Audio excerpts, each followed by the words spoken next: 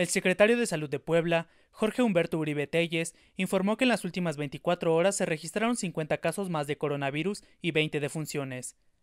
En videoconferencia, señaló que han realizado 3.487 pruebas, de las cuales 1.230 son positivas, en tanto que 99 están en proceso, además la cifra de muertes llegó a 274.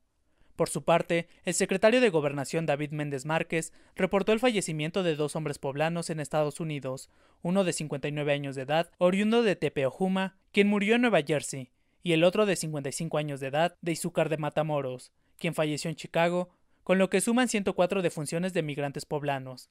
Por otra parte, el gobernador Miguel Barbosa Huerta informó que los centros de salud de servicios ampliados de Cholula y de San Sebastián de Aparicio, en la ciudad de Puebla, serán los otros dos nosocomios que se reconvertirán para atender a pacientes con COVID-19.